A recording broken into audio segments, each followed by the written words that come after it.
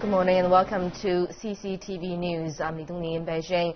We start this program with U.S. Defense Secretary Chuck Hagel's visit to China. A Chinese military leader has said while meeting with Hagel that China is dissatisfied with the remarks Hagel made in Japan.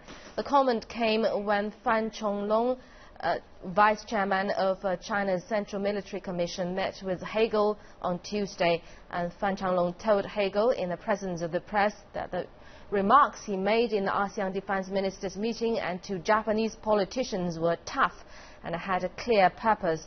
He added that Chinese people are dissatisfied with such remarks. In an interview with Japan's Nikkei newspaper on Saturday, Hagel criticized China's air defense identification zone over the East China Sea as a provocative and unilateral.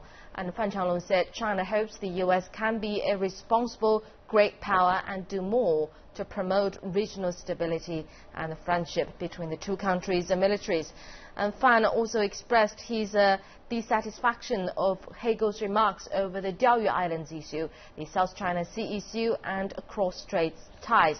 Hagel is the first U.S. Defense Secretary to visit China since Fan took office, and he's on a 10-day visit to Japan, China, and Mongolia.